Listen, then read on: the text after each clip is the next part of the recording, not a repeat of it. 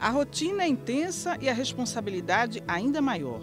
É preciso dar conta da educação, da provisão, dos anseios dos quatro filhos.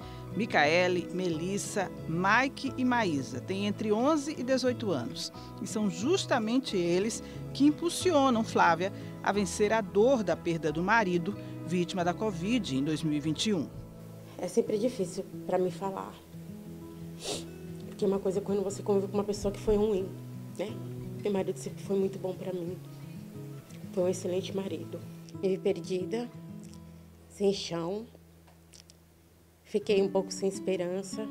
Eu tive que seguir em frente. Como ele sempre falou para mim, as últimas palavras dele, ele disse: Eu te amo e a vida continua.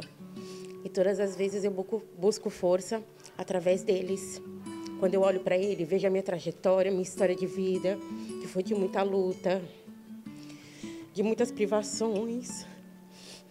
É isso que me fortalece, saber que foi difícil para me chegar até aqui. É isso que também me dá força, né? Tipo, a força que eu tenho abaixo de Deus vem deles, porque eles precisam de mim.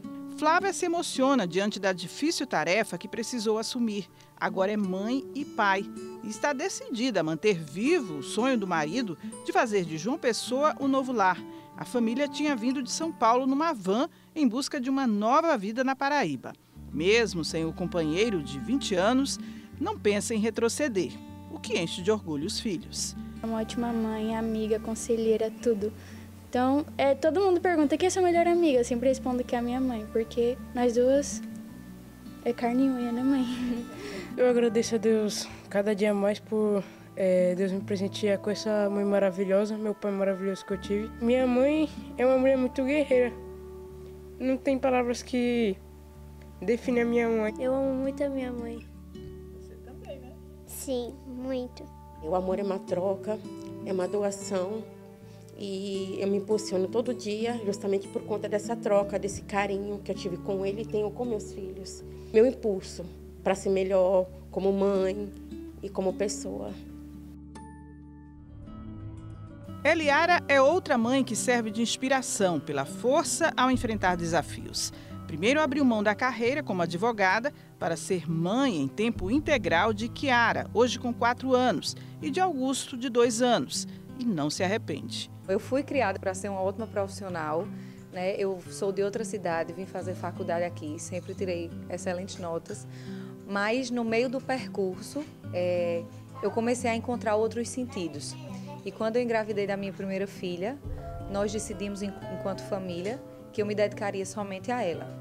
E eu percebi que a maternidade ela é uma via privilegiada de amor, porque naquele bebê eu consigo vencer o meu egoísmo. Eu o amo não porque ele me dá nada em troca, porque ele é incapaz de me dar.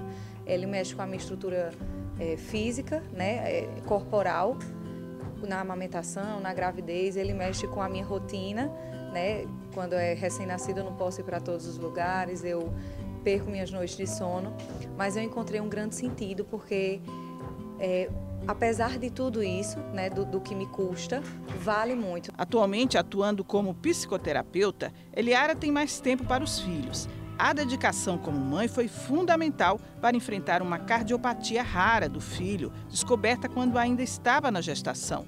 Eliara teve que se mudar com a família para o Recife, onde havia possibilidade de tratamento. Ela e o marido nunca perderam a fé. Eu me recordo nitidamente que a gente desceu da sala da médica, foi para uma lanchonete e eu comecei a chorar. E aí meu esposo disse: "Por que você está chorando?" E para mim parecia muito óbvio, né? E ele disse: "Eu quero que você se lembre que ela deu uma possibilidade dele não nascer, mas a gente também tem uma possibilidade dele nascer, né? A gente não tem esse controle. E essa circunstância não chegou para a gente porque a gente escolheu, mas a gente pode escolher a forma como a gente vai enfrentá-la.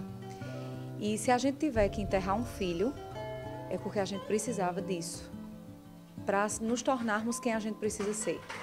Se a gente tiver que ter um filho em cima de uma cama, que nunca vai falar, que nunca vai andar, é porque também a gente precisa disso para nos tornarmos a, a, as pessoas que nós precisamos ser. E se a gente tiver que viver um milagre, também é porque a gente precisa disso. Então a gente precisa viver um dia de cada vez. E aquilo virou uma chave dentro de mim. E de fato eu entendi. Eu vou viver um dia de cada vez. A vida me convida a isso hoje. Se o meu filho está vivo hoje dentro de mim, eu não vou fazer com que ele viva dentro de uma mãe que está completamente triste por causa de um diagnóstico, né? Mas se ele se mexe dentro de mim, eu vou celebrar a vida dele até quando eu não sei, né? Isso não, não cabe a nós. Hoje, o pequeno Augusto vive o milagre da recuperação. Sem necessidade de cirurgia ou tratamento, segue sendo monitorado pelos médicos e com os cuidados da mãe, que espera mais uma filha. Alice está a caminho, com saúde e também com o privilégio de contar com o colo de uma mãe que é pura fortaleza.